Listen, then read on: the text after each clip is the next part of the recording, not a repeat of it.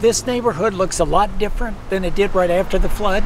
It looked like a war zone, you know, then cars were flooded, uh, you know, houses were damaged. It was a lot of, a lot of problems. The Lions are here walking through the community today, working with uh, the Delaware volunteer organizations active in disaster and the United Way in order to distribute boxes of supplies to the families in need.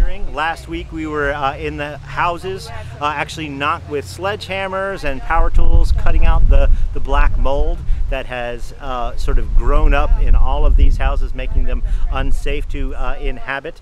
And uh, today uh, we are uh, distributing uh, supplies for families that don't have electricity, that don't have the gas turned on. So we are bringing in uh, everything from uh, cleaning supplies so they can help clean their house to food to things for the children to do because many have lost everything that they own. So we are attempting to provide uh, just enough to be able to get them through uh, to, the, to the next day where we can come and bring some more supplies. So the $10,000 is being uh, spent out. It is buying N95 masks. It is buying gloves uh, for the work crews. It is helping to provide a continual support.